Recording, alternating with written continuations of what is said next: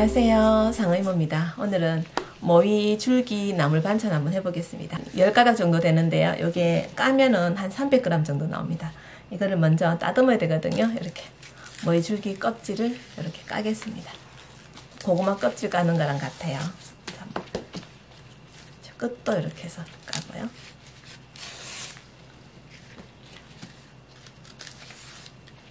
이걸 가지고 데쳐서 된장 넣고 한번 볶아 보겠습니다. 좀 굵잖아요. 굵은 거는 이렇게 반으로 갈라주고요. 그냥 먹을 수 있다 싶은 분은 부분은 굳이 반 안 갈라도 됩니다. 그냥 이렇게 똑똑 끊어줍니다. 이렇게 끊을 때 이런 거 있죠. 실처럼 이렇게 딸려 나오는 거 있어도 그냥 괜찮습니다. 데쳐서 까기도 하고요. 아니면 저처럼 생으로 이렇게 까도 되고 해보시고 더 쉬운 쪽으로 하시면 됩니다.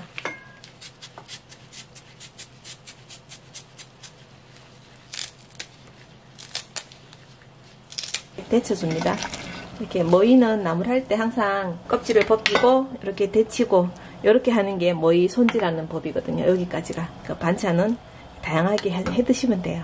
어, 맵게 해 드시고 싶으면 맵게 또 새콤달콤하게 무치기도 하고 또 들게 넣고 그냥 담백하게 볶기도 하고 굵고 딱딱하기 때문에 조금 더 삶아줘도 됩니다.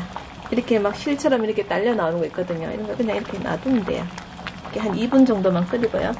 불을 끄고 건지면 됩니다. 찬물에 담가서 이제 한 두어 번 헹궈주면 되는데요. 그리고 나서 이제 이걸 반찬하시면 됩니다. 이따가 물을 한 500ml 이렇게 다시마 조금 하고요. 멸치 머리 닦는 거 좀 넣겠습니다. 내장과 머리를 따고 이렇게 넣고요. 같이 건져 드셔도 되고 육수 따로 내서 넣어도 됩니다. 지금 한 두 번 헹궈왔거든요. 넣어주겠습니다. 이제 된장으로 간을 하는데요. 된장을 전 한 듬뿍 한 두 스푼 많이 넣죠. 모이 줄기는 쓴맛은 없습니다. 그 대신에 향이 좀 있습니다. 그래서 그게 싫으면 물에 좀 많이 우러내시면 돼요.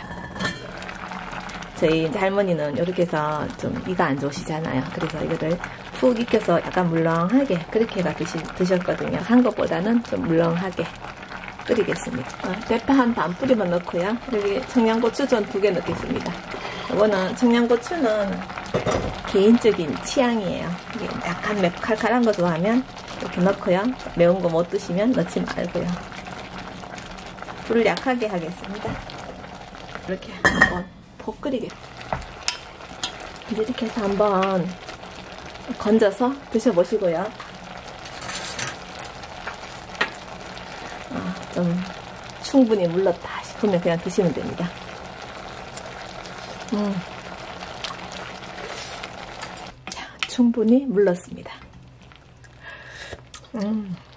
뭐 이 나물은 이렇게 푹 졸여서 좀 어른신들도 드시기 좋게 이렇게 물렁하게 요리해도 되고요.